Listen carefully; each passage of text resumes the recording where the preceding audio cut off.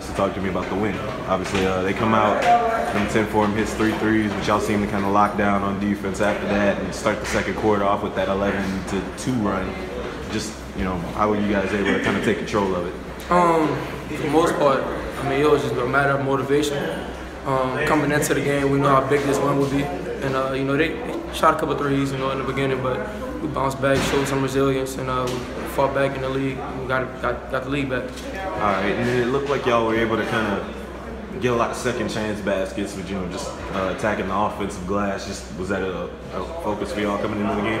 Um, not really, but you know it was just a matter of getting 50-50 balls defensively, offensively, no matter what.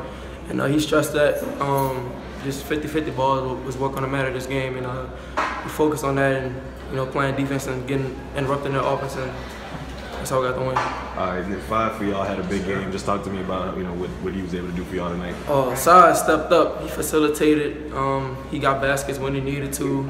He took care of the ball. I don't even think he had a turnover, but um, he played well. All right.